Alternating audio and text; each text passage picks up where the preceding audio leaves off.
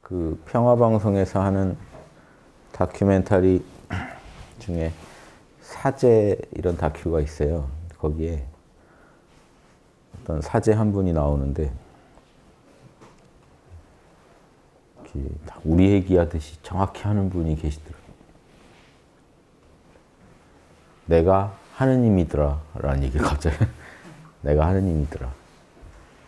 그러니까 왜, 왜냐 하느님이 하느님을 본떠서 인간을 만들었기 때문에 우리가 하느님이더라. 그런데 그러니까 하느님으로서 품위를 지키며 살아야겠더라. 이런 각성을 하시고 하나님의 현존 체험을 강조하시더라고요. 하나님의 현존을 계속 체험해야 된다. 그러니까 우리가 늘 하는 얘기죠. 예. 우리 안에서 하나님, 사실 거기 다리가 I am인데 하나님 예, 성령이라고 할게요. 하나님 현존을 체험해야 된다. 그런데 그 하나님 현존을 체험하면 뭐가 나오죠? 예, 양심이 나오죠. 이분이 정확하게 하나님 현존을 체험하면 하나님의 소리통이 양심이다. 그러는 거예요. 하나님의 소리통이 양심이라 선은 하고 악은 하지 말라고 한다. 이보다 더 안전한 게 없다. 이렇게 살면 된다. 이게 다예요. 그래서 딱 아주 쉽게 표현해요. 그리고 훌륭한 사제, 유능한 사제 되는 것도 중요한데 하나님의 현존을 체험하지 못하면 진정한 사제가 될 수 없다. 딱 이 얘기만 인터뷰 하시는데 음, 할 얘기 다 하시더라고요. 그래서 성령, 양심. 그래서 저희가 이제 이번에 성경 강의하면서 제가 그림 그렸던 게 이거 그려드렸죠. 믿음, 성령, 양심 하면 다 나온 겁니다. 우리 얘기. 예. 여러분 진짜 믿는다는 건 한 점 의심 없이 몰라 하셔야 돼요. 의심 없이 몰입하시는 거예요. 하나님 자리에게 모든 걸 맡기고 하나님한테 모든 걸 맡기고 예, 쉬실 수 있어야 그게 신뢰 관계죠. 믿음이죠. 여러분 안에 나의 현존이 확연하게 드러납니다. 거기가 하느님 자리고요. 나의 현존. 그 상태에서는 요 자체가 성령이 불덩어리니까 우리 마음이 양심으로 양심 51%가 되지 않겠어요? 그러면 밖으로 나오는 게 뭐가 나오겠습니까? 예, 지혜, 사랑 이런 게 나옵니다. 진리를 이해하게 되고 남을 나처럼 사랑하게 되고 이게 양심을 통해 나와야 진짜지 에고가 전혀 뜨겁지 않은데 차가운 에고가 예, 혼자 꼼수로 이렇게 지혜를 추구하고 사랑을 추구한다고 되는 게 아니죠. 뜨거워져야지 뜨거운 마음이 나오죠. 그래서 늘 하나님 현존을 체험하셔야 됩니다. 그래야만 예, 이 성령 안에는 성령 안에는 성령 안에는 진리가 들어 있겠죠. 예. 요게 이제 말씀 그러는 겁니다. 말씀. 이거 성령. 성령 안에는 말씀. 진리의 말씀이 진리가 들어 있죠. 그러니까 성령, 성령과 하나 돼야 하나님의 뜻이죠. 말씀이라는 게. 하나님의 뜻이 이해가 되니까 지혜가 이루어지고 무지를 극복하고 지혜가 이루어지고 이 차가운 에고의 그 탐욕은 성령 안에서 이웃을 남, 나처럼 사랑할 수 있을 때 극복되죠. 그래서 결국 뜨거워져야 믿음, 믿음을 통해 성령과 하나 돼야 믿음 일념으로 성령과 하나 되는 법이 기독교에서 강조하는 법이죠. 우리 우리 민족 삼일신고 경전에도요. 하나님 만나는 법 하면 성기 원도 절친견 그럽니다. 소리의 기운으로 원하고 빌면 반드시 친히 뵐 수 있다. 하나님. 그 하느님 하느님하고 예, 그이 소리를 내면서 집중하다 보면 반드시 만날 수. 신기한 게 비슷한 게 제가 오늘 제가 읽어드리는 게 예수님의 이름을 부르는 기도. 이게 중세 수도사들이 제일 많이 쓰던 법입니다. 원래 이제 동방 정교회 쪽에서 예, 카톨릭도 이렇게 나눠졌죠. 그래서 동방 정교회 쪽에서 많이 쓰던 방법인데 이게 워낙 이제 유명해져서 두루 두루 쓰이게 됐습니다. 예전에 한번 소개해 드렸어요. 예수님 자비를 호흡 맞춰서 들이실 때 예수님, 내쉴 때 자비를 뭐 이런 식으로 호흡과 맞춰서도 한. 그래서 이, 이, 이 우리 삼일신고에서 소리의 기운으로 원하고 빌면 반드시 친히 반드시 반드시 하느님을 뵐 건데 그 다음 말이 자성구자 강제인이라 사실은 너의 본성에 이미 하느님이 내려와 계시다. 결국 사실 찾고 보면 내 안에 이미 와 계셨는데 그러니까 우리가 만약 기독교에서는 성령을 체험한다 그러면 성령이 비둘기처럼 어디선가 강림한다고 이해하는데요. 이미 여러분 안에 성령이 계십니다. 하나님이 계시니까 하나님의 영이 이미 계시니까 여러분이 보고 듣고 숨쉬고 살아가지 예, 하느님 안에서 살아가지 그냥 살 수가 없어요. 하나님의 토대 위에서 우리가 사는 거지. 그래서 원래 우리 본신분이 하나님의 자녀인 거예요. 그래서 사도행전에 보면 사, 바울이 사도 바울이 우리는 하느님 안에서 숨쉬고 살아갑니다라는 말을 해요. 이미 그렇게 살고 있는 거예요. 그런데 그 각성이죠. 성령이 강림한다는 건 사실 우리가 각성돼서 그 이 성령을 알아채고 성령이 와 계신 걸 알고 성령을 이해하게 되는 사건이죠. 그 사건이 오는 걸 상징적으로 뭔가 하늘의 은총을 통해 성령이 우리한테 강림한다고 이해하는데요. 유대인들이 그렇게 이해하고 있었어요. 그래서 예, 그런 식 표현이 많이 쓰입니다만 실제로는 결국 내 안에 있는 걸 찾는 거죠. 우리 우리 민족 경전 3일 신고에도 소리의 기운으로 원하고 빌면 하느님을 친히 뵐 수 있다. 그런데 알고 보면 예, 자신의 본성 안에 이미 예, 자신의 본성이 하느님이고 이미 내려와 계신다. 이미 와 계시는데 예, 찾으라고 하죠. 꼭 밖에서 밖에서 우리가 만날 것 같이 느껴지지만 찾고 보면 내 안에 원래 계셨다 하는 것처럼 성령이 강림해서 내가 어, 성령을 갑자기 얻게 된 줄 아는데 사실은 성령의 덕으로 사실 살고 있었다는 걸 깨치는 거죠. 예, 그 사건을 성령 강림 이런 식으로 표현할 뿐입니다. 그거 잘 이해하시면서 중세 수도, 사들은요 요걸 우리 안에 하나님이 교회를 다니건 안 다니건 모든 존재의 내면에는 하나님이 거하시기 때문에 우리가 살아간다라고 생각했어요. 이, 런 좋은 사상이 종교 개혁하면서 많이 악화됐어요. 카톨릭의 모든 걸 부정하다 보니까 카톨릭 수도사들이 얻었던 이 지혜도 많이 부정당하고 성경으로 돌아가자 해서 뭔가 내가 열심히 믿으면 하느님이 예, 은총을 줄길 기대하는 오히려 그런 부분에서는 좀 퇴보된 부분도 있어요. 왜냐하면 중세에서는 다 알았는데 다는 아니지만 열심히 실제로 이 묵상과 관상을 잘 하시는 분은 알 수밖에 없습니다.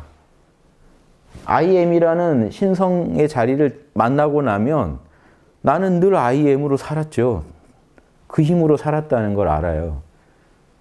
그 빛으로 보고 그 힘으로 살고 이게 이걸 모를 수가 없으니까 실제로 묵상과 관상을 잘하는 분들이 많았을 때는요 이 진실이 너무 당연한 사실이었어요. 하느님은 우리 안에 원래 계신다. 그래서 그런 표현을 저는 어, 중세 묵상 의 대가들이 쓴 책을 보면 계속 만납니다. 그래서 조금의 어떤 차이도 못 느꼈어요. 그런데 요즘 기독교에서 나온 그런 글들을 보면 이 밖에서 성령이 찾아와야만 되는 것처럼 설명해 가는데 그런 부분에서는 제가 확실히 퇴보 아닌가 예, 영적 지혜를 잃어버린 거 아닌가 이런 생각을 합니다. 그래서 좀 도움을 도와드리고 싶어서 도움이 돼 도와드리고 싶어서 도움이 되는 책이 이게 생각나더라고요. 예전에 제가 이걸 언제 샀을까요? 진짜 오래됐어요. 지금은 안 나올 안 나올 것 같긴 한데요. 예, 지금 안 나올 수도 있습니다. 제가 예전에 한번 찾았을 때 안 파는 것 같았거든요. 그런데 예수님의 이름을 부르는 기도 성 바오로 출판사에서 나온 겁니다. 그래서 예수님 기도에 여러 정식이 있다. 이제, 이제 말들이요. 주 예수여 자비를 베푸소서. 이렇게 좀 긴 버전들도 있다는 거예요. 예수 그리스도여 자비를 베푸소서. 예수님 자비를. 그리스도여 자비를. 예수님, 그냥 예수여. 한마디로 다 끝낼 수도 있고. 예수님, 아버지. 예. 예수님이 가장 오랫동안 사용된 정식이다. 이렇게 설명은 돼 있네요. 가장 완전한 정식은요. 주 예수 그리스도여 하나님의 아들이여 우리 죄인에게 자비를 베푸소서. 이 길게 하면 이렇게 되고 줄이면 예수님 자비를. 그냥 한마디로 하면 예수님. 이렇게 이해하시면 되겠어요. 이런 정식들이 있었다. 이 기도에 여러 정식들이 있고요. 예수님 대신에 아버지 하셔도 당연히 되죠. 아버지. 예. 자비를 하셔도 되고 아버지 바로 감사합니다 해도 돼요. 받았다고 생각하고 자비를 받았다고 생각하고 감사합니다 해도 됩니다. 왜냐하면 예수님 설명이에요. 기도할 때는 한 점 의심 없이 믿으면서 이렇게 설명하세요. 의심하지 않고 믿으면서 이미 받았다고 생각하고 기도하라. 그러면 가장 손쉬운 게요. 받았다는 기분 내시려면 감사를 바로 하시면 돼요. 감사합니다. 예수님 감사합니다. 아버지 감사합니다 하고 바로 이 그 성령과 하나 되는 결국 목표는요. 성령과 하나 되는 거예요. 성령과 하나 되지 못하면 그 기도는요. 혼자 떠드는 겁니다. 하나님하고 지금 하나님하고 이 접촉이 없는 거예요. 만남이 없는 거예요. 하나님과 만나야 그 기도가 성취되고 또 그 기도가요. 올바른 방향으로 나아갈 수 있습니다. 잘못된 기도는요. 하나님과 만나면 날아가 버려요. 그, 그 불순물들은 날아가 버려요. 그래서 하나님과 만남 속에서 올바른 기도를 할 수 있게 되고 그런 올바른 기도라야 이루어집니다. 예, 사도들이 뭐라고 하냐면 이 성령 안에서 하는 기도가 아니고 예, 그런 욕심으로 하는 기도는 절대로 이루어지지 않는다. 이런 게 분명히 설명돼 있어요. 그래서 나중에 또 제가 설명드리겠습니다. 요 기도가 동방교회에서 먼저 시작됐는데 후에 서방교회로 전파돼서 이 기도가 너무 좋으니까 12세기 이르러서는 이제 널리 퍼지게 됐다. 그래서 지금 현재 카톨릭, 정교회, 성공회, 개신교 등 모든 그리스도인에게 아주 친근한 기도가 되어서 보편적 기도가 되었다. 요 설명을 해주고 계십니다.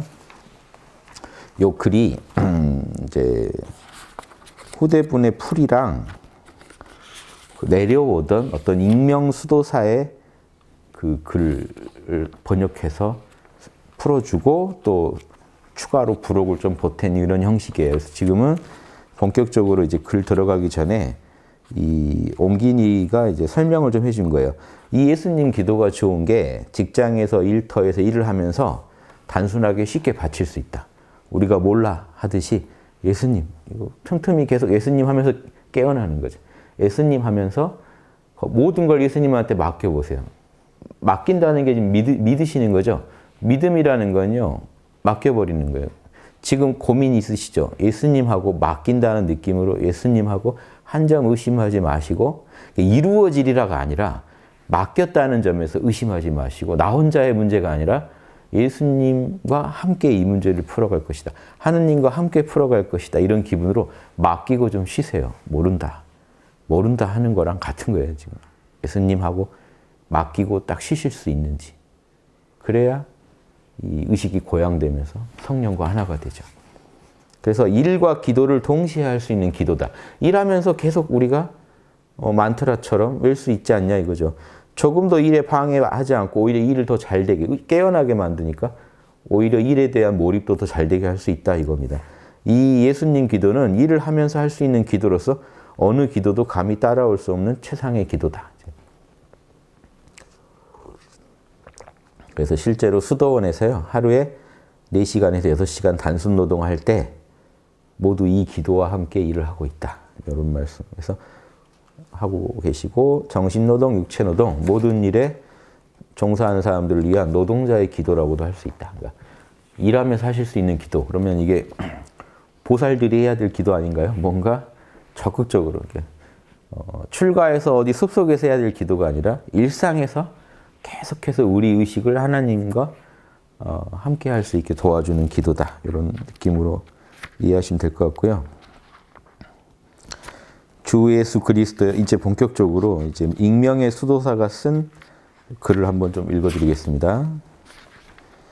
주 예수 그리스도여 하나님의 아들이여 우리 죄인에게 자비를 베푸소서 이게 긴 버전이죠. 완전한 버전이죠. 그런데 예수 그리스도여 혹은 주 예수여 그리고 이 기도는 아주 간단하게 예수님 이렇게 한마디 가 되기도 한다. 아까 드렸던 말씀을 다시 해주고 계시네요. 예수님 이름 부를 때 소리내어 부를 수도 있고 마음속으로 부를 수도 있다. 둘다 어, 좋은 방법이다.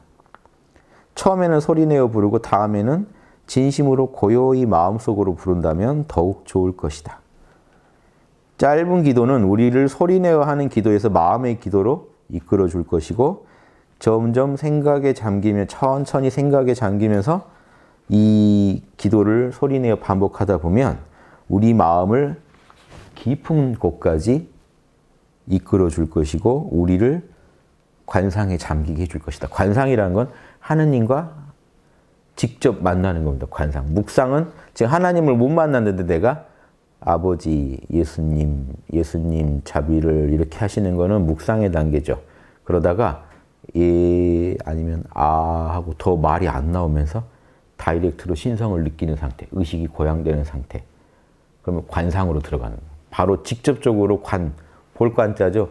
직접 하느님을 직관하는 단계로 가면 관상이라고 합니다. 예, 그렇게 나가시라. 그러니까 이게 입으로 해야만 소리가 아닙니다. 여러분 속으로 예수님 하시면 이미 소리의 기운이 일어나요. 속으로 해도 일어나요. 몸에도 변화가 일어납니다. 속으로 소리를 내도요. 우리가 생각으로 한 거잖아요. 속으로 소리 낸다는 게 생각을 해도 몸에 진동이 일어납니다. 실제로.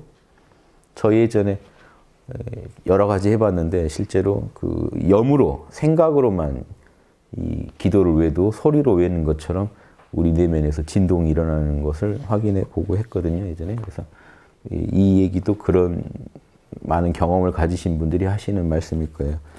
가능한 한 자주 이 기도를 자유로이 바치는 것 외에도 우리는 그러니까 이렇게 틈날 때마다 하는 것 외에도 시간을 정해서 고독한 장소에서 예수님이 너희들 기도할 때 골방에 가서 문 닫고 보이지 않는 너의 아버지께 해라 하는 것처럼 고요한 데 들어가서 이 기도를 계속하는 것도 좋을 것이다.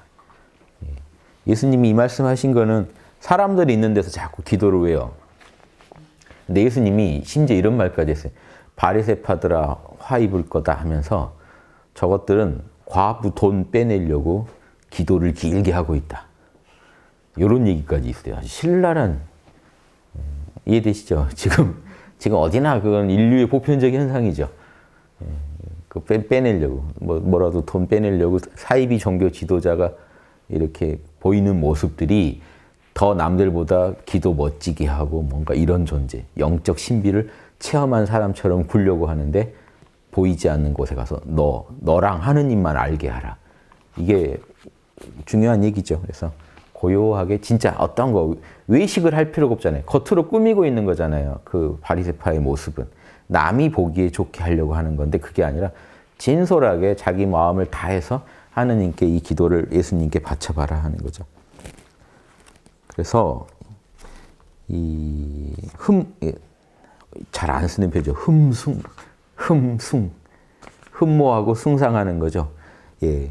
사랑의 마음과 이런 존경의 마음으로 예수님의 이름을 부르면서 그 이름 속으로 잠겨들어라. 여러분 몰라만 해도 사실 되는데 여러분 내 에고가 이상하게 몰라 할 때는 내 에고는 뭔가 좀 의지할 때가 필요한 것 같아요. 몰라 하면 너무 막 내가 어, 그 뭔가 의지할 곳이 없어지는 것 같아요. 이런 분들은 제가 아버지도 하라고 했고 아미타불 이렇게도 불교인 같으면 아미타불 부처님을 불러보라고 말씀드렸던 게 그 말을 아주 믿고만 한다면 믿고 의심 없이 탁 여러분의 번뇌망상을 맡기면서만 한다면요 그대로 깨어나게 되거든요. 다만 그 에고 입장에서 더 편한 거 있으면 그거 하시라고 한 거예요. 마찬가지로 이 중세 카톨릭 수도사도 똑같습니다. 무지의 구름에서는요 몰라만 하라고 그래요. 무지에 빠뜨려 버려라. 그런데 그 무지의 구름 책에서도요. 그런데 기도를 하고 싶다면 아버지나 이렇게 예수님 한 단어를 쓰는 건 좋다. 마찬가지로 지금 또 통하죠. 예수님의 기도도 예수님 하면서 맡겨보세요. 그 사랑과 존경의 마음으로 그 이름을 부르면서 푹 잠겨들면 뭔가 더 의지처가 되면 에고는 더 쉽게 깨어날 수도 있습니다. 에고가 더 쉽게 안식할 수 있게 해주려면요. 이런 자기 종교나 자기 또 그런 에고의 상태에 따라서 다양하게 방편 쓸 수 있는 거예요. 그래서 그 다음, 자, 그럼 똑같아요, 원리는. 예수님하고 그 이름을 정말 진심을 담아서 예수님 하면서 이 나의 고민을 맡기시고요. 그 다음에 맡긴 다음에 고요히 그 자리에 머물러라. 예수님하고 진짜로 예수님 뵈면서 우리가 마음을 내는 것처럼 예수님 하면서 부르면서 내 마음의 안식을 이루게 하고 고요한 상태에 머물러 보시라는 그리고 반복하라. 지금 그걸 반복하다 보면 예수님 하고 예수님, 예수님, 예수님 이러면 고요할 새가 없습니다. 예수님, 예수님, 예수님. 왜 안 되는데요? 그럼 이런 분이 있어요. 몰라 하라니까 몰라, 몰라, 몰라, 몰라. 몰라가 안 끊어지고 몰라, 몰라 상태는 못 들어가고 이런 게 아니죠. 몰라 하고 실제로 마음이 고요해지나 보고 또 한 번 하고 보고 이러는 거 이게 맞죠. 몰라 상태에 들어가고 싶은 거니까요. 실제로 내가 모든 걸 맡기고 쉬는 상태에 들어가고 싶어서 몰라를 한 거죠. 그게 결국 하나님한테 맡기고 쉬는 거죠. 똑같습니다. 여기는 이제 맡기는 주체를 바로 그 맡기는 그 분을 바로 부르는 거예요. 맞는 우리의 고민을 맡아줄 그 주체 예수님 하고 부르고 맡기고 쉬어야죠. 그러니까 고요해, 고요히 머물러라. 자신이 지금 이름을 부르고 있다고 생각을 하지 말아라. 오로지 예수님만 생각해라. 예. 다른 생각하지 말고 쓸데없는 잡념 일으키지 말고 예수님, 예수님 진지하게 부르면서 예. 예수님한테 모든 걸 맡긴 예. 예수님과의 진정한 만남을 원하는 그런 느낌으로 천천히 부드럽게 그리고 고요하게 불러라. 마음을 괜히 심란하게 하지 말고요. 예수님, 예수님. 어디 계시는 거예요? 이렇게 하면 안 되죠. 심란해지죠. 예수님. 부를 때 이미 하나로 통했다고 생각하고요. 예수님 하면서 맡기는 겁니다. 지금 힘든 일이 있는데 예수님 하고 진, 진지하게 진심으로 부르면서 한 점 의심 없이 예수님한테 예수님이 내 이 아픔, 이 번뇌 다 아실 거라고 믿고 맡기고 좀 쉬어보세요. 가벼워져야죠. 고요해져야죠. 그래야 여러분이 신성과 하나 될 수 있습니다. 번뇌, 망상, 집착을 들고 있어서는요, 하나, 하나가 될 수가 없어요. 그러니까 이걸 예수님이 뭐라고 하셨냐면, 하나님은 영이시니까 영과 진리로 예배드려라. 오로지 깨어있음으로 예배드려야지, 이렇게 자꾸 자기 마음을 번잡하게 해서는 예배가 안 된다는 얘기를 해주신 거죠. 예, 이해 잘 되실 거고요. 자, 이런 실전 팁이 계속 나옵니다. 요거 들으시면서 한번 같이 깨어나 보세요. 평안한 마음을 갖고 침묵 속에서 마음을 모아 몇 초, 몇 분 동안 지속적으로 그 이름을 반복해서 불러라. 한번 부르고 끝내지 마시고 한번 부르고 또 마음 상태 보고 또 부르고 다른 생각을 못하게 하는 게 중요하잖아요. 그래서 예수님한테 마음이 향하게 만들면서 예, 끌고 가는 건데 자 이게 이 원리를 제가 좀 추가 설명하면요. 믿음과 믿음 이 성령과 만나는 단계까지요. 믿음, 소망, 사랑의 단계를 거칩니다. 자, 간절히 예수님을 믿고 모든 걸 맡기면서요. 예수님과의 만남만을 소망하고 그러다 결국 합일되는 마음에 도달합니다. 그러면 하나가 돼요. 꽉 찬 마음, 저, 저 사랑이라는 건요. 완전히 만났다, 만나서 하나가 돼서 꽉 찬 마음 있죠. 여러분 사랑하실 때 꽉 찬 마음. 의혹도 어떤 그 번뇌도 없는 꽉 찬 마음. 하나가 된 마음이 자리 잡으면 만나신 거예요. 믿음, 소망, 사랑. 믿음은 의심이 없다는 얘기죠. 소망은요. 다른 걸 소망하지 않고 오직 하나님만을 소망한다는 거예요. 예수님만을 소망하고. 그러니까 이 믿음, 소망, 사랑으로 우리 마음이 꽉 차게 하면요. 만날 수밖에 없습니다. 여기에 이런 여러분이 머리를 써서 뭔가 추리하고 고민하시면은 못 날아올라요. 묵상의 단계에서는 그런 추리나 이런 것도 쓰는데요. 그것도 내려놓으셔야 돼요. 그러니까 자꾸 단순화해서 가는 겁니다. 복잡한 묵상법이 아니고 이 묵상법은 단순화해서 곧장 관상으로 들어가는 묵상법이에요. 예수님. 그러니까 어떤 상상도 하시면 안 돼요. 다른 묵상법은 상상을 또 시킵니다. 몰입을 시키려고. 그런데 지금 이거는 예수님의 이름을 부르는 기도는요. 예수님 하면서 상상도 하시면 안 돼요. 그것도 다 추리입니다. 예수님. 추리와 상상이 동원되죠. 그냥 예수님 하면서 소망하세요. 예수님하고 모든 걸 맡기고 만남을 소망하고 그러다가 이 다른 식으로 다른 쪽으로 마음이 나가고 온전히 거기에 몰입이 될 때 이제 꽉 찬 마음이 들어서면 이제 더 이상 그 안식의 마음이 들어서고 평안의 마음이 들어서면 하느님과 그냥 만난 거죠. 여기 설명이 잘 되어 있습니다. 제가 읽어드릴게요. 이름을 반복하는 것은 이름을 거칠게 반복하지 말라는 이분이 아주 설명을 잘 해주셨어요. 이름을 반복하는 것은 마치 새가 공중을 날아가려고 날개짓 하는 것에 비유될 수 있다. 그러니까 처음에 날개짓을 할 때 결코 많은 힘을 들이지 않으며 강압적으로 하지도 않고 급하게 서두르거나 퍼덕거리지도 않는다. 단지 부드럽게 쉽게 그리고 우아하게 정숙하게 날개짓을 하며 날아간다. 이 말들은 깊은 의미를 지니고 있다. 예, 그러니까 새는 또 보세요. 새는 자신이 원하는 고도에 다다랐을 때 그곳에서 활공하면서 비행한다. 새는 공중에 계속 머물러 있기 위해서 가끔 날개짓을 할 뿐이다. 그러니까 예수님의 이름을 날개짓처럼 쓰라는 건요. 날 때도 막 미친 듯이 퍼덕거린다고 나는 게 아니고 아주 딱 알맞게만 예수님, 예수님 하면서 우리 마음을 하나로 몰아가다 보면 할 말이 없어진 상태. 더 이상 할 말이 없는 상태에서 합일감이 오면 예, 성령을 만나는 거고 그런 용도로 쓰고 일제 이제 성령의 자리, 하느님 자리를 만났으면 가끔 날개짓 하듯이 잘 날다가 이렇게 날다가 새가 가끔 고도가 낮아질 때만 가끔 날개짓 하듯이 어떠란 얘기입니까?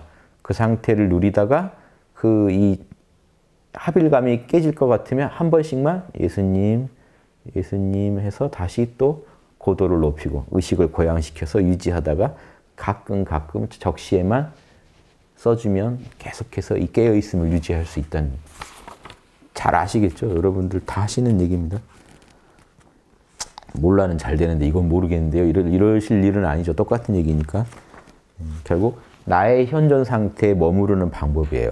예수님이라는 하나의 단어에 몰입함으로써 우리가 깨어나고 그 깨어있음이 유지되는 선, 유지되는 걸 중시하면서 가끔 깨어있음이 깨지려고 할 때만 다시 환기를 시켜주면 된다는 거예요. 예수님의 이름을.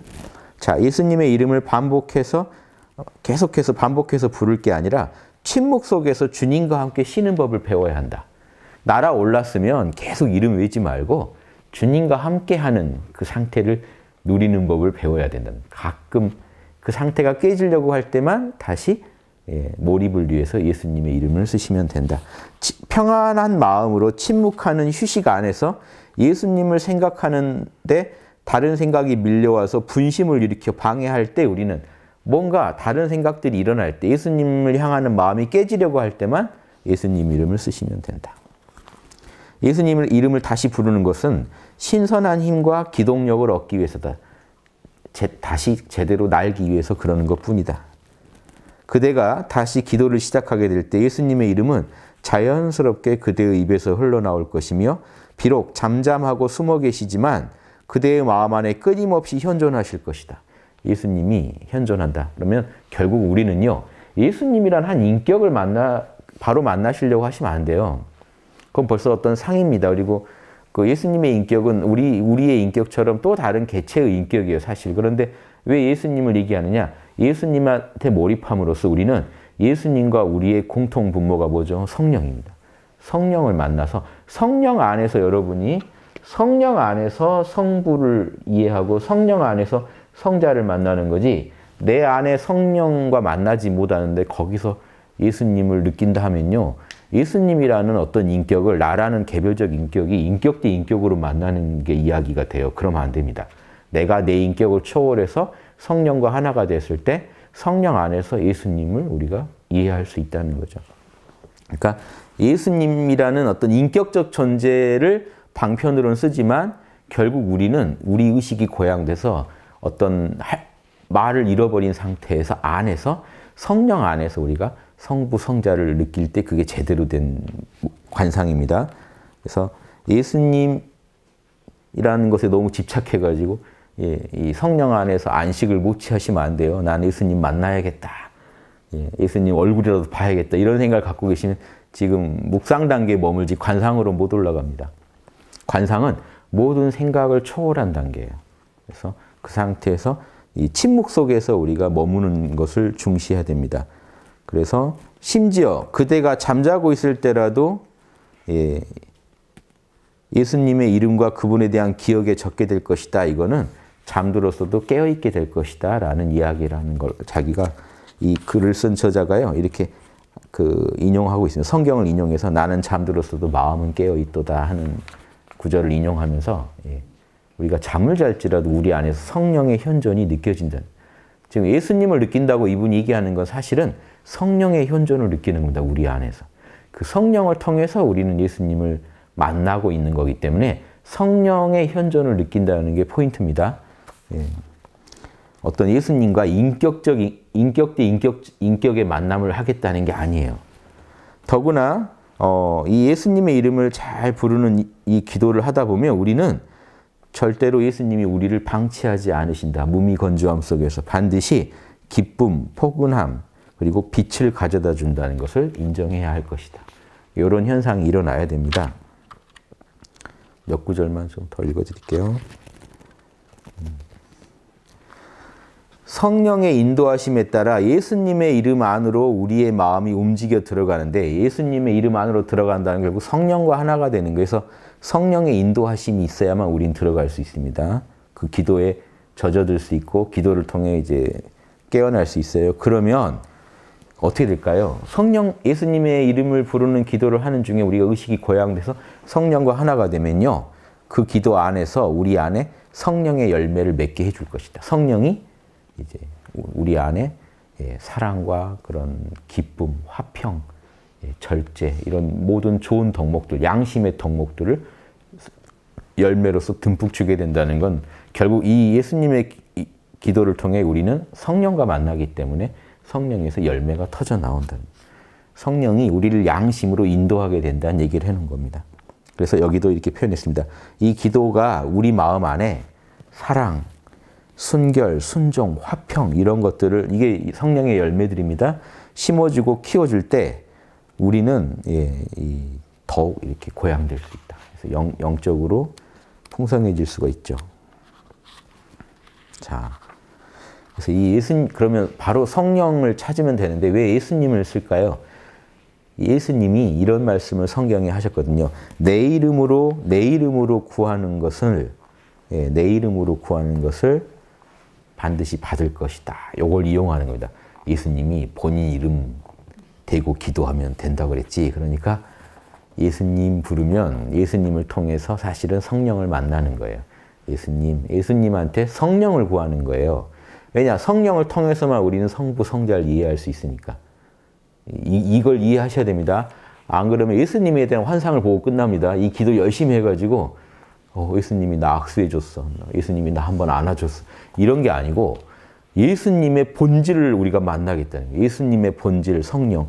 그게 나의 본질이라는 거를요. 결국 성령 안에서 우리는 성부, 성자와 일치할, 일치하는 경험을 하고자 하는 겁니다. 그 부분을 잘 이해하시면 좋겠습니다. 자, 이제, 이제 이런 글들이 계속돼요. 좋은 말씀이 끝없이 팁이 있습니다. 어, 지금 보니까 뭐 벌써 숫자가 이, 렇게 짧은 짧은 단락들이 한 64개 정도의 팁을 어떤 익명의 수도사가 써놓은 거예요. 자기가 예수님 기도를 가지고 어떤 팁을 써놓은 게 이렇게 됩니다. 예. 자, 우리가 예수님하고 부르면요, 우리는 주님의 이름의 완전성과 충만함 안에서 휴식을 누리게 된다. 그래서 예수님이라고 해서 우리가 예수님, 예수님한테 기도했지만 결국 성령 안에서 안식하는 거죠. 그게 예수님 안에서 안식하는 거기도 하고요. 요거 이해 못 하시면 안 됩니다. 그러게 되면 우리는 어, 그, 그분의 완전한 현존 안으로 이끌어 간다. 그 기도가 우리를 그분의 완전한 현존 안으로 이끌어 간다. 예수님의 완전한 현존이란 것도 결국 성령의 현존입니다. 그게 사실은 우리의 현존이기도 해요. I am이라는 거는 예수님도 I am이고 우리도 I am이고 하느님도 I am이. 나의 현존이 사실은 성부의 현존이고 성자의 현존입니다. 그래서 내 의식이 고양돼서 한점 예, 분심, 잡념 없이 온전하게 여러분이 현존하고 있을 때 거기서 예수님의 현존도 느끼고 하나님의 현존도 느낄 수 있는 겁니다. 이 완전한 현존이 예수님 이름의 전부이며 우리가 예수님의 이름을 통해서 얻어야 할 게 이거고요. 모든 것이다. 이름의 현존이 없다면, 이름만 있고 예수님의 현존이 느껴지지 않는다면 그것은 아무것도 아니다. 끊임없이 우리 주님의 완전한 현존 안에서 살아갈 수 있는 사람은 이름이 필요치 않다. 이름도 나중에 필요 없다는 겁니다. 늘 I am 상태로 살아가실 수 있으면 신의 현존, 성부 성자의 현존, 성령의 현존 속에서 우리가 함께 살아갈 수 있다면 이름을 따로 부를 필요도 없다는 거예요. 그 현존이 어떤 건지 안다면. 여러분 아시겠죠? 예. 신성을 아신다면 이름은 방편일 뿐이기 때문에 예. 이분 설명을 잘 해주신 거예요. 이름도 너무 집착하지 마라. 이름은 단지 현존을 격려하고 분발시키면서 지원해 줄 뿐이다. 우리가 이 지상에서 살아가는 동안 언제고 더 이상 이 이름을 사용하지 않아도 될 때가 모든 것에서 자유로워질 때가 올 것이다. 그 어떤 이름도 붙여지지 않고 말로 표현할 수도 없는 예수님과 살아있는 생생한 만남을 가질 수 있을 것이다. 어디서 만난다고요? 성령 안에서 만나 I am 안에서 예수님과 하느님, 우리 우리 존재의 뿌리인 성령 안에서 이렇게 이, 이 성부, 성자, 성령이 일치를 하는 그런 체험을 우리는 말로 설명할 수 없는 그 상태에서 계속 맛보면서 살아가고 사실은 잠을 자도 그 현존은 사실 사라지지 않다. 이게 불교로 가면 오매이련이 뭐 이런 얘기가 나오는 겁니다. 다 나올 얘기 다 나왔어요. 예전에 수도사들은요, 이, 이 맛을 아니까 사막에 가서 굴, 굴 지어놓고 그 안, 굴 파고 들어가기도 하고 톡을 짓고 들어가서 그 안에서 이 맛 보고 삽니다. 그래서 그분들 체험담이 생생해요. 저는 사실 이제 그렇게 좀 소승적인 걸 좋아하지는 않죠. 예, 예수님처럼 낮은 곳으로 임해서 많은 백성들과 함께 예, 그 살아가면서 이 백성들을 일깨워주는 걸 더 좋아하지만 그분들 마음도 알겠어요. 그 세상이 우리를 안 받아들여, 안 받아들여 주니까 나라도 깨어있지 하는 마음으로 사막에 가서 굴 파고 들어가서 나라도 깨어있지 하고 인류가 못 깨어 있으니 나라도 깨어있지 하고 깨어 있습니다. 그 마음도 오죽합니까? 그래서 제가 저도 이해하고 그런데 그분들 표현이 너무 리얼한 게요. 잠시 밖에 나갔다 토굴에 들어오면 그렇게 외롭대요. 그 표현이 지금 다 남아있습니다. 그 캄캄한 토굴에 들어가서 정말 외로움이 엄습해 올 때 마음을 다잡고 다시 이렇게 예수님하고 앉아 있으면 그렇게 충만한 공간이 또 없게 느껴지게 된. 그 외로움, 두려움을요, 충만함으로 바꿔, 바꾸는 그게 그분들의 일상의 사실은 수행입니다. 계속해서 또 다시 하나님과의 만남 속에서 외롭지 않게 고아가 아니고 나는 하나님의 자녀라는 것을 직시하면서 살아갈 수 있는 하나님 체험. 계속해서 이 신의 현존과의 만남이 있어야만 생각도 좋은 생각이 옵니다.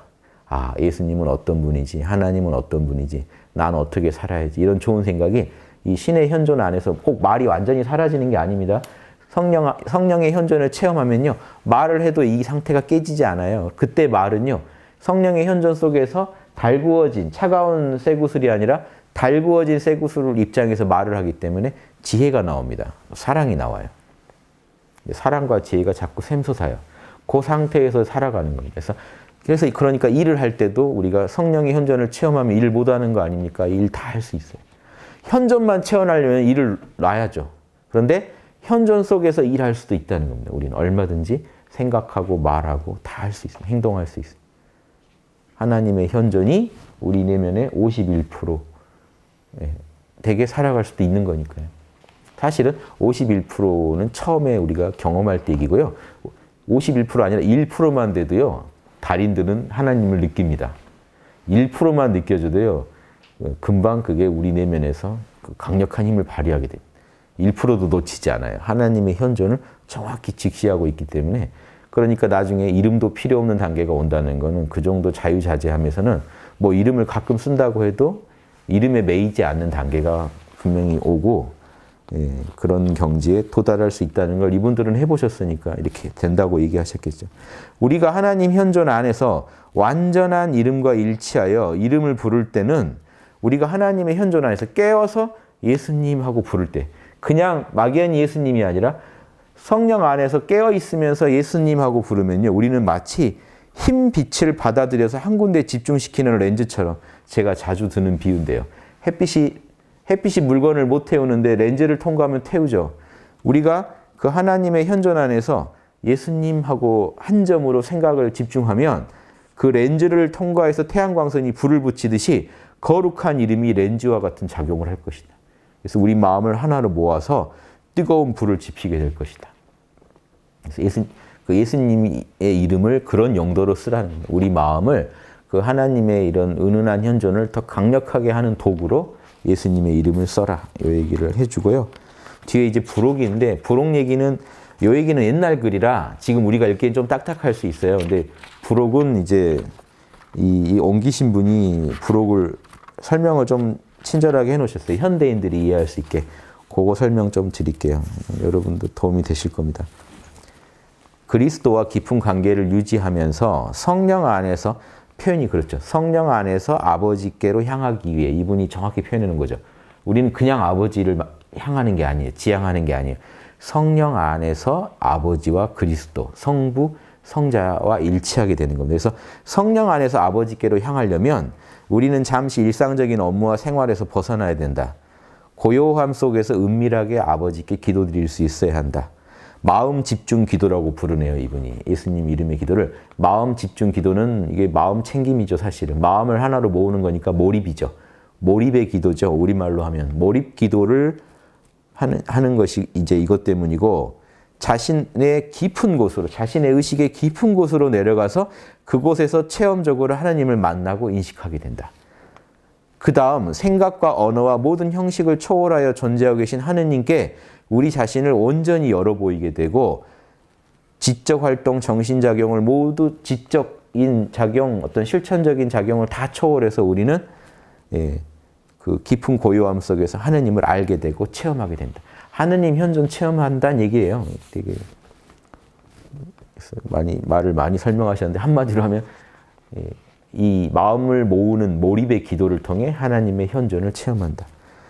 그래서 우리는 단순히 한 단어를 천천히 아주 작게 마음속으로 반복함으로 반복하여 바침으로써 하느님한테 바친다는 느낌으로 이렇게 나의 이게 말만 바치는 게 아니라 여러분의 모든 걸 바쳐야 됩니다. 그게 몰라예요. 여러분 이름도 바치고요. 내가 어떤 물건입니다 하는 것도 다 바치고 쉴 수 있으면 여러분은 하느님과 하나가 되겠죠. 예, 이렇게 해서 개념을 초월하여 존재하고 계신 하느님, 언어를 초월해 계신 하느님께 즉 그 완전한 침묵에까지 우린 다다르게 된다. 자, 이런 기도는 심리적 집적 작용을 그 마음의 여러 심리적 작용, 지적인 작용을 다 초월해 있으며 그러니까 이 성령 자리는 우리 생각, 감정, 오감을 초월해 있잖아요. 그 얘기입니다. 생각, 감정, 오감을 초월해 있기 때문에 하나님 아버지와 일치를 이루면서 우리는 성령 안에서 그리스도 하나를 이루게 한다. 이분들은 하느님 찾고 성령 찾고 그리스도 찾으니까 힘들어요. 말이 힘든데 잘 이해해 보세요. 하느님 아버지를 성령 안에서 만나죠. 그러면서 우리는 성령 안에서 그리스도와도 하나가 될 수 있다. 예수님을 성령 안에서 만나는 겁니다. 개인적 만남 추구하지 마세요. 내 에고가 은밀히 예수님한테 만나서 할 얘기가 있다. 이런 게 아니에요. 우리 영혼을 사실 불태워서 이 성령에 다가갔을 때만 우리는 그 침묵 속에서 빛 속, 빛과 평안 속에서 예수님과 일치를 보는 겁니다. 이런 예, 얘기, 음, 이런 말까지 있네요. 성부, 성자, 성령의 그 성이라는 단어를 성 붙잖아요. 참된 자, 참나라고 생각하면서 부른다면 효과가 클 것이다. 참나까지 활용하시는데요. 예, 이거 이제 현대, 현대니까 이제 이런 기법까지 더 참나라고, 성이라고 하는 게 우리 참나다. 내 영혼의 뿌리다라고 알고 부르면 더 효과가 좋을 것이다. 이런 팁도, 팁도 제시해 주시고요. 예수님 할 때 숨 들이시고 자비를 할 때 내쉬면서 자연스럽게 호흡과 일치하며 기도를 할 수 있으면 좋다. 몇 분 동안 이런 방식으로 호흡을 하면서 이 호흡까지 다 예수님께 바쳐라. 제가 예전에 이런 거 읽고 감동해서 초보자를 위한 단학 예전에 낼 때 초보자를 위한 단학 생뚱맞죠. 갑자기 얘기가 나오는데 거기 이렇게 써 있어요. 우리 단학이라는 거는 정기신으로 정기신을 하느님께 바치는 기도다 이런 표현도 거기 들어 있습니다. 초판본부터 들어 있습니다. 그때 제가 우리가 이렇게 숨 쉬면서 이렇게 예, 뭐, 마음과 몸을 닦는다는 것 자체도 다 하느님한테 바쳐야 된다. 하느님으로 인해서 일어나는 일이지 우리가 뭘 하는 게 아니에요. 우주 자연의 원리에 따라서 우리가 예, 그걸 거기에 협조하면서 뭔가 결과를 내는 거지 하는 건 다 이게요. 하느님이 하는 겁니다. 이렇게 계속 반복하다 보면 호흡이 점점 느려진다. 이 얘기가요. 조, 중요한 얘기입니다. 예수님 자비를 그냥 하는 게 아니라 호흡에 맞춰서 하다 보면 호흡이 길어진다는 얘기예요. 호흡이 길어진다. 호흡이 길어지면 몸의 에너지체의 어떤 각성까지 일어납니다. 사실. 정신도 맑아지고 호흡이 느려지다 보면 점점 정신도 맑아진다. 묵상을 10분을 하든 1시간 하든 항상 눈은 감고 하라. 이분은 이건 이분의 팁이고요. 실제로 저는요 그런 분들 많이 봤어요. 호흡법을 안, 안 했는데 이런 만트라나 연불이나 이런 기도를 오래 하다가 호흡하고 맞춰서 하다가 호흡이 엄청 길어진 분들은 호흡이 길어져요 실제로 이게 느려, 느 점점 늘어나니까 에너지체가 자연스럽게 각성되는 분들을 저는 많이 봤어요 저한테 단 자기 자기는 이런 단전호흡이나 이런 호흡을 안 했는데 몸에 경락들이 막 이렇게 기운이 차면서 몸 안에 있는 몸이 일깨, 깨어난다는 거예요. 각성된다는 거예요. 근데 뭐 하셨냐 그러면 이걸 이걸 길게 했어요. 호흡하고 맞춰서 뭔가 이렇게 이런 주문이나 기도를 길게 한 분들은 그런 현상이 일어납니다. 그래서 실제로 이런 묵상을 하다 보면 몸에 가끔씩 몸의 등에서 기운이 이제 작동하고 팔다리에서 뭔가 이상 현상들이 나타나는 거는 호흡이 길어져서 일어나는 니다 집중과 그러니까 호흡이 길어진 것만은 아니고 정신이 깨어나고 정신이 깨어나서 예민해지고 그리고 실제 호흡이 늘어나면서 몸의 에너지 어떤 변화가 일어나서 일어난 현상입니다. 자, 마지막 요 구절만 설명해 드릴게요. 제목이 소제목이 그리스도 현존에 대한 인지. 벌써 제목이 좋죠. 그리스도의 현존은 결국 여러분 그리스도 따로 있고 성부 따로 있는 게 아니에요. 여러분 성령만 체험하시면 돼요. 성령 안에서 그냥 만나게 돼 있는 겁니다. 왜? 성령이 하나님의 영이에요, 원래. 성령이라는 거는 성부의 영인 거고 성자도 성령 안에서 하느님과 일치하신 분인 뿐이에요. 그러니까 성령이 제일 중요합니다. 그래서 예, 예수님 이런 말씀하세요. 성자를 욕해도 좋고 성부를 욕해도 좋은데 성령을 욕하면 너는 끝이다. 구원받을 수 없다. 이게 성령이 제일 중요합니다. 우리 안에 계신, 우리 안에 임하신 하느님이에요. 여러분 안에 계신 하나님을 모르고는 답이 없는 겁니다. 그러면 성부도 이해할 수 없고 성자도 만날 수가 없어요. 호흡과 일치해서 몇 분 동안 기도를 하다 보면 어떤 방해도 받지 않고 편안한 상태에 놓인 자신을 발견하게 되는데 여러분 잘 아시죠? 지금 깨어나고 있어요. 깨어나다가 예수님하고 한 단어를 부드럽고 길게 이렇게 부르다 보면 점점 예수님이란 단어가 그대의 의식 속에서 점점 사라질 때가 온다. 예수님을 더 부르기 힘들 때가 와요. 예, 말이 중요한 게 아니라 의식이 깨어나고 있기 때문에 이 언어 기능을 쓰고 싶지 않은 상태가 오죠. 그러면 그대는 이제 내, 내면의 깊은 심층의 단계로 들어가고 있다. 것을 의미하며 어느 정도 예수님과 직접 대면에 있는 상태에 와 있음을 뜻한다. 사실, 사실은 성령을 만나고 있는 겁니다.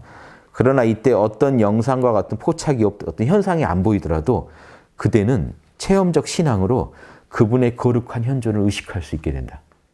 사실은 여러분 본인의 현존이에요. 그 현존 안에서 예, 예수님의 현존까지 인식합니다. 그 순간, 바로 그 순간 그대는 주님 안에서 만족을 얻게 된다. 어떤 결핍감이 사라져버린. 이게 괜찮다 상태죠. 그래서 저희가 이거를 어떤 신앙이 없는 분들도 쉽게 깨어나기에 몰라, 괜찮아 하면 사실은 깨어나 버립니다. 그래서 나의 현존 상태에 들어갑니다. 거기가 불교에서는 부처님 자리라고 하는 거고 여기서는 성령, 하느님 자리라고 하는 겁니다. 주님의 현존 의식을 꾸준히 유지하라. 그 이상 어떤 다른 생각도 말도 하지 마라. 유지만 하고 있어보라. 침묵 속에서 유지해보라. 이것이 그대를 신비스러운 그분께 이끌어준다. 아, 이 고결하고 순수한 밝은 빛의 순간이요. 이게 불교식으로 말하면 공적영지입니다. 텅 비어 있는데 신령하게 알아차린 빛. 이런 순간은 그대에게 자주 주어지지 않는다. 예. 혹시 이런 상태에서 어떤 환상을 보더라도 그대는 내면의 깨달음의 세계로 다시 들어가야 된다. 영상이나 환상이 보이면 다시 기도문으로 돌아가라는 신호다. 훌륭한 실전 팁이죠. 거기 빠지지 말고 와 하지 말고 예수님 한 번 더 읊조리면 날아가고 나는 더 의식이 그 고양된 상태에서 오래 머물 수 있다. 이렇게 머물다 나오라 하는 것. 그래서 처음엔 이렇게 해서 여러분 깨어나요. 한 시간도 깨어나고 두 시간도.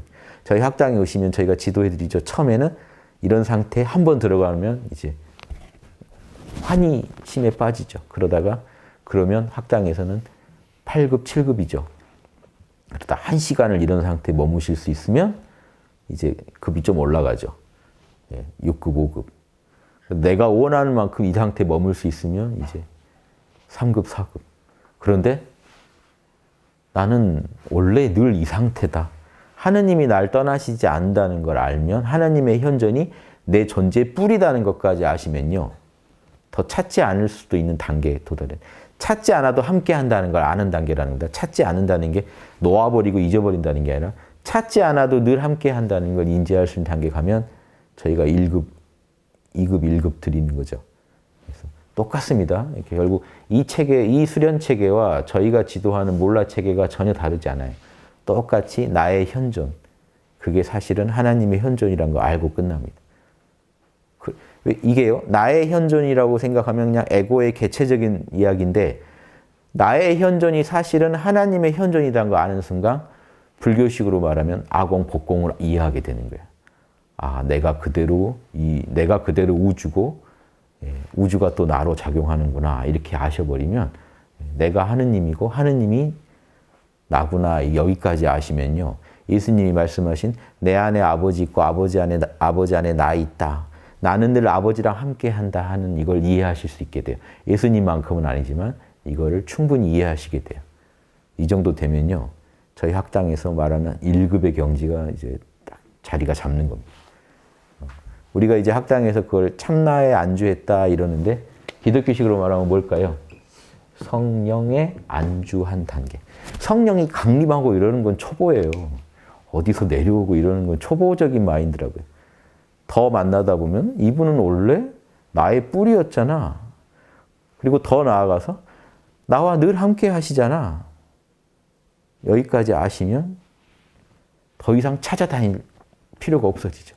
그러면 이런 묵상 관상의 대가들이요. 중세에 많았어요.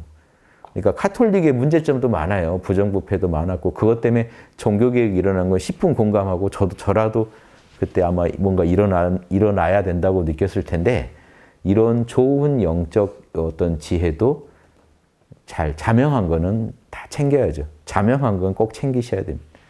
예, 그래서 그 이, 이거를 지금 현실에서 쓰지 않으면 우리가 믿음을 통해 성령과 하나 돼야 양심적인 삶, 지혜와 사랑의 삶을 사는데 믿음을 통해 성령을 만나는 데 있어서 지금 이렇게 시, 시, 리얼한 실전 팁이 어디 있습니까? 이게 일상에 자리 잡으시면 여러분 누구나 어, 교회 다니신 분은 누구나 하느님 안에서 살아가시게 돼요. 그럼 근심 걱정은 날아갑니다.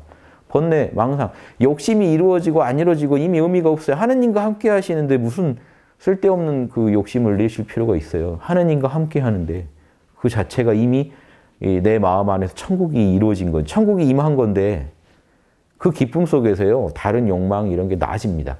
욕망을 억지로 놓는 게 아니라 하느님과 함께하는 천국의 기쁨에서 내 번뇌가 줄어들고 욕망이 줄어들고 스트레스가 줄어들고 분노가 사그라들고 양심이 나오는 거죠. 그래서 지금 한국 교회의 문제점은 성령의 현존과 함께 하는가 이겁니다.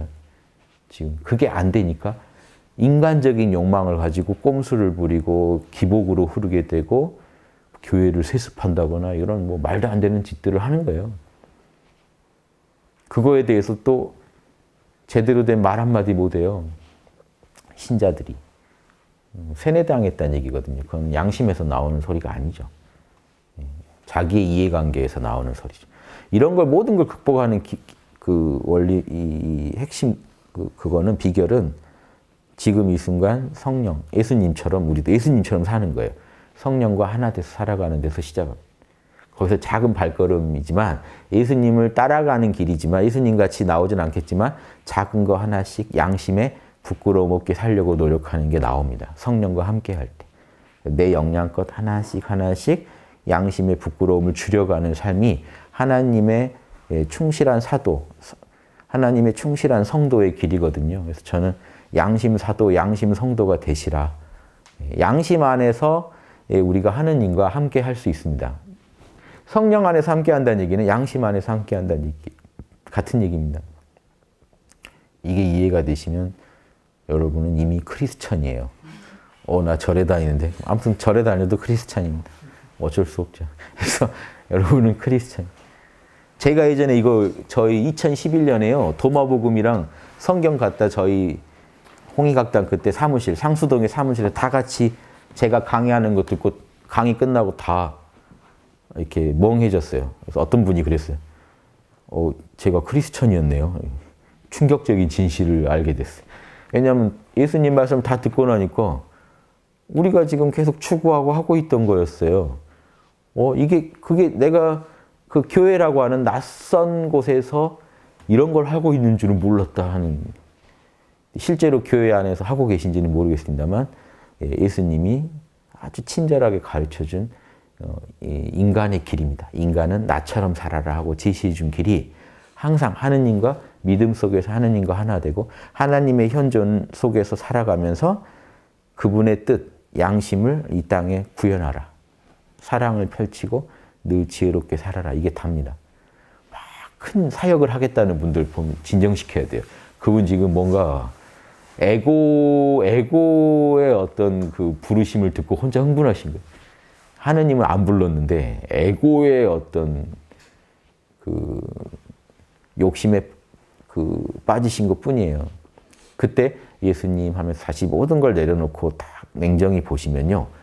양심 안에서 좋은 지혜가 나오고 사랑이 나와서 올바른 길을 또 인도해 줄 겁니다. 그러니까 항상 늦었다는 순간 없어요. 지금 이 순간 다시 지금 예수님 하면서 내려놓자고요. 내려놓고 다시 하느님과 만나면 문제가 풀릴 거 아닙니까? 지금 계속 자기가 풀려고 해요. 한국 교회 문제점 있다, 뭐 개혁하자 하는데 개혁하자는 분들도 본인 머리로 풀려고 하고요. 문제 있는 분들은 본인 욕심으로 계속 달려가고 있고요. 그래서 내 머리, 내 꼼수, 그리고 내 욕심에 빠져서 문제가 해결 안 됩니다. 진정한 종교 개혁은요, 근원으로 돌아가는 거예요. 예수님처럼 하느님 안에서 하느님이 자명하다는 건 하고 하느님이 찜찜하다는 건 하지 말자. 이걸 원칙으로 세우면요. 교회가 아니라 인류의 모든 문제도 다 풀 수 있습니다. 그 풀 수 있다고 예수님이 보여주고 갔는데 지금도 못 풀고 있죠. 성경 껴안고 지옥으로 달려가고 있는 실정이에요. 여기 이 실전 팁이 무궁한데 활용을 못하고 계신 게 안타까워서 제가 예, 또 이렇게 좀 조금이라도 도와드리려고 말씀드려봤습니다. 마치겠습니다.